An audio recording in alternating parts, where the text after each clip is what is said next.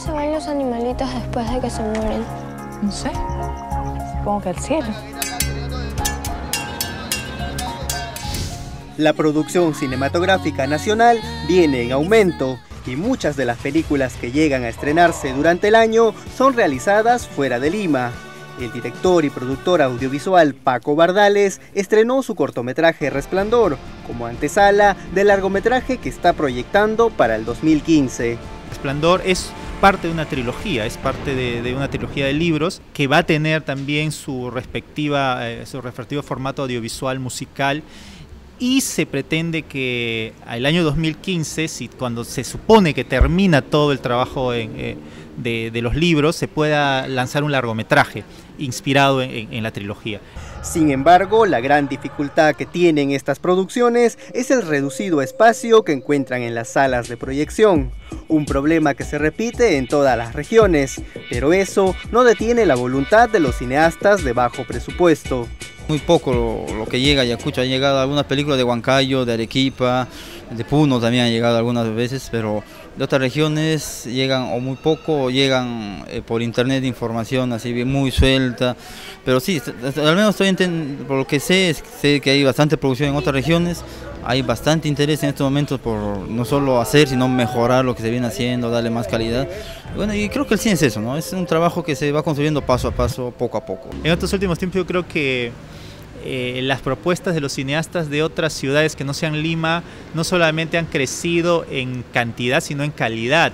Ya tenemos este, eh, directores eh, muy talentosos como Dorian Fernández, Omar Forero, y creo yo que la creatividad, la forma de conectar con el público, este, son, plus, pluses y, ventajas que usualmente deberíamos considerar en el en el cine nacional. Incluso para los cineastas limeños es difícil proyectar este, sus trabajos acá.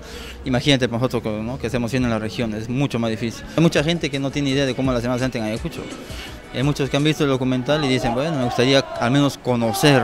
Sean películas de provincias o de Lima, estas siempre van a competir con las grandes producciones extranjeras. Lo que hacen nuestros cineastas locales es rescatable porque logran llevar al cine sus películas hechas a base de puro ingenio, ya que sus presupuestos son modestos. En la región es, tan difícil como hacer cine en Lima, pero hay una cuestión de voluntad, hay mucha persistencia en ese, en ese proceso.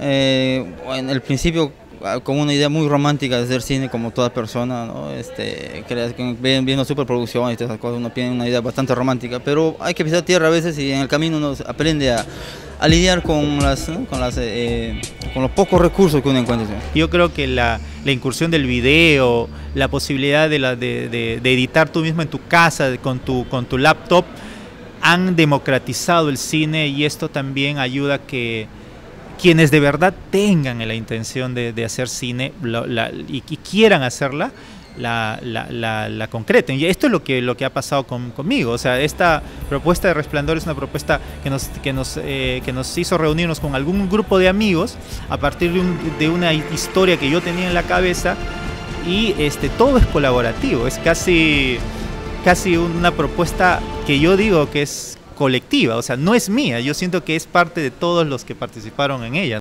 Si la última película peruana estrenada en nuestros cines representó un éxito total, gracias a los más de 3 millones de espectadores que ha conseguido, es necesario recordar que existen otras propuestas que ofrecen los cineastas de regiones, otras alternativas para sumar a la todavía emergente producción cinematográfica nacional.